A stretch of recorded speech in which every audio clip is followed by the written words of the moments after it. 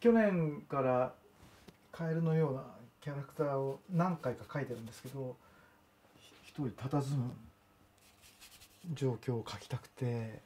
で広大な風景の中に一人佇んでいるようなものをあの描いている感じでしょうか。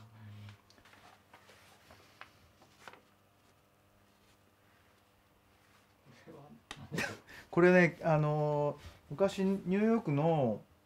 飲みの市で買ったキャンドルなんですよね。なんかこういうまあ多分サイケデリックの時代の頃なんじゃないかと思うんですけどもだってねパイプとキノコですからね 間違いないと思うんですけどそういったあのモチーフにいつも惹かれるわけですけどでそれをあのこの部屋でちょっとコントラストを強めて撮影してるんですね一応一度。でその撮影した絵に合わせてあの背景もちょっとアレンジしたりとかでこれも古い山の本の、えー、を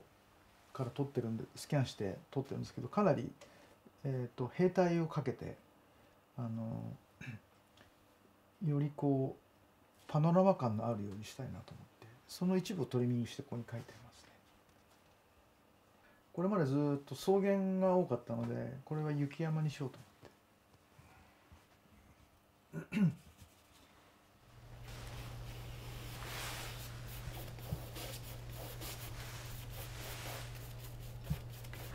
最初こういう茶色茶色というかバーンタンバーを主体としたあの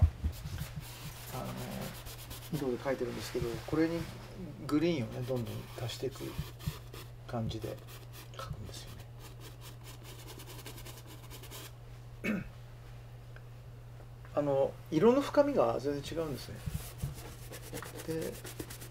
バーンタンバーで大まかなこう抑揚をつけていってそこから細部のグリーンをこう書き込んでいくような感じでしょ。